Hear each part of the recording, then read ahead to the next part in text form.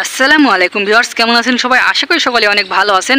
যে যেখান থেকে এই ভিডিওটি দেখছেন, সবাইকে স্বাগত জানিয়ে শুরু করছি। আমাদের আজকের ভিডিও। দর্শক এই সরকার আপনারা দেখছেন সবুজ সেবা। আমাদের আজকের এই ভিডিওতে আমি আপনাদেরকে শিখাবো কীভাবে আধুনিকভাবে আম গাছে গ্রাফটিং করতে হয় এবং বৃক্ষ প্রস্তুতি করতে হয়। তো চলুন দর্শক বন্ধুরা, আমাদের আজকের এই ভিডিওটি শুরু করা যাক। বন্ধুরা, আমাদের এই আজকের এই গ্রাফটিংটি একটি ইউনিক গ্রাফটিং হতে চলেছে, কারণ আমরা আজকে এই যে দুটা গ্রাফটিংয়ের যে সায়নটা আমরা নির্বাচন করেছি, দেখছেন আমরা এই দুটা সায়ন এখানে ফিক্স করব।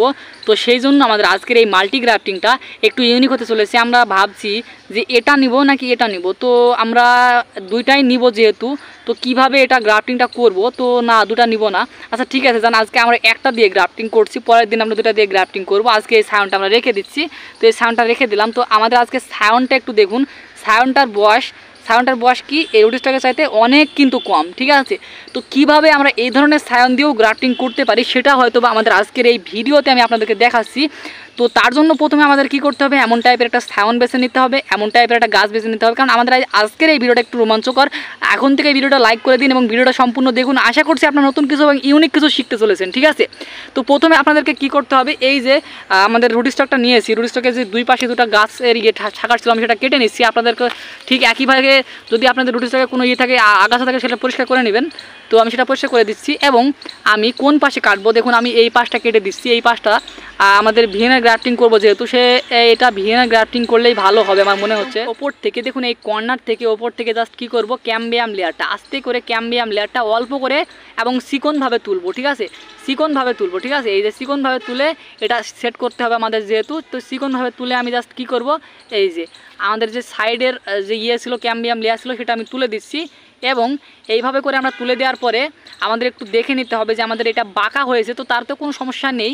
আমাদের সাউন্ডটাকে আগে এখানে ফিক্স করে দেখতে হবে যে আমাদের কতটুকু পরিমাণ এখানে লাগবে। তো আমাদের সাউন্ডটাকে যদি আমি এখানে ফিক্স করতে চাই, তাহলে অবশ্যই আমাদের অল্প পরিমাণে লাগছে, ঠিক আছে? তো সেটা কীভাবে নির্বাচন করব? প্রথমে আমি এটা একটু ব্যাকা করে কেটে দিচ্ছি এইভাবে করে, এবং এটা এইভাবে করে আমি জাস্ট এখান থেকে এটা কাটবো, ঠিক আছে? তো কাটার জন্য প্রথম থেকে আমি এখান থেকে এইভাবে করে ধরে এটার যে ক্যাম্বিয়াম লেয়ার আছে সেটা তুলে দিব, আবারও আর একটু ক্যাম্বিয়াম লেয়ার তুলে দিব। তো এই সাউন্ডটার বয়স কিন্তু মোটামুটি এক মাস, আপনারা ভাবতে পারেন হয়তো একবারে ছোটো সাউন্ড না, এটার বয়স কিন্তু এক মাস। তো এই সাউন্ডটা যদি আমি এখানে ফিক্স করতে চাই, তাহলে দেখা যাবে যে এইখানে কিন্তু এটা ফিক্স হচ্ছে। তো দেখতে পাচ্ছেন এখানে কিন্তু আমাদের এটা ফিক্স হচ্ছে। তো প্লাস্টিক ফিতা দিয়ে বাধাই করার সময় কিন্তু এটা এক্সটার্নাল যে কাজ, সেটা কি করতে হবে? এটা ভালোভাবে বাধাই করতে হবে, ঠিক আছে? আমি জাস্ট আরও একটু পার্নিশ করে দিচ্ছি, এটা সুন্দরভাবে এটা পরিষ্কার করে নিচ্ছি আমি। তো আমি জাস্ট ক্যাম্বিয়ামটা উঠাই দিলাম। এইবার আমি এটাকে এখানে কি করব? প্রবেশ করায় প্লাস্টিক ফিতা দিয়ে বাধাই করব, ঠিক আছে? তো আমাদের কিন্তু এই মুহূর্তে প্লাস্টিক ফিতা দিয়ে যে বাধাই করার কাজ সেটা করতে হবে, তো এটা অতি সাবধানে করার চেষ্টা করতে হবে। তো চলুন সেই কাজটা করা যায় তো দর্শক বন্ধুরা, এই জন্য আমরা প্লাস্টিক ফিতা যেটা ব্যবহার করছি সেটা আমার হাতে দেখতে পাচ্ছেন। তো এই টাইপের প্লাস্টিক ফিতা কিন্তু আপনি নিজেও তৈরি করতে পারবেন এবং কীভাবে তৈরি করবেন সেটার একটা বিস্তারিত ভিডিও লিঙ্ক তো ডেসক্রিপশন বক্সে দেওয়া আছে, তাহলে আপনারা সেখান থেকে দেখে নিতে পারেন। ঠিক আছে? তো আমি একদম নিচ থেকে, দেখুন এই নিচ থেকে কিন্তু এই প্লাস্টিক ফিতাটা বাধাই করার যে কাজ সেটা করতে হবে। একদম নিচ থেকে আমি এটা সোজা করে আগে প্লাস্টিক ফিতা দিয়ে বাধাই করে দেবো নিচ থেকে। তারপরে ওপরে যে যে বাকি কাজ সেটা করব, ঠিক আছে? তো এটা করার জন্য একদম এইভাবে করে টেনে এটা কিন্তু আমাদের লম্বা করে নিতে হবে এবং ফিতাটা যখন আমরা টেনে লম্বা করব, তখন কি হবে? আমাদের কিন্তু এই প্লাস্টিক ফিতাটা চিকন হয়ে যাবে। দেখবেন, খেয়াল করে দেখুন আপনারা, তাহলে বুঝতে পারবেন। এই প্লাস্টিক ফিতার এটাই সুবিধা, ঠিক আছে? যে কোনো গ্রাফটিংয়ে কিন্তু আমরা এটা ফিক্স করে ফেলতে পারি।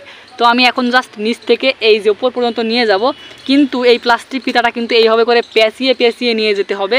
একদম সুন্দরভাবে কিন্তু এই প্লাস্টিক ফিতাটা আপনারা পেঁচিয়ে পেঁচিয়ে একদম উপর পর্যন্ত নিয়ে যাবেন। দেখুন, একদম উপর পর্যন্ত, দেখতে পাচ্ছেন? একদম উপর পর্যন্ত নিয়ে যাব এবং আমাদের কিন্তু এক ইঞ্চি পরিমাণ ফাঁকা রাখলেও হবে বা না রাখলেও হবে। তো আমি সেটা ফাঁকা রেখেই দেবো, কোনো সমস্যা না। তো আমি ফেক রেখে দিয়ে এটা আমি ঘুরিয়ে ঘুরিয়ে এটা, এটার সাথে এখানে ফিক্স করে, এটা এখানে ফিক্স করে দিচ্ছি এখানে।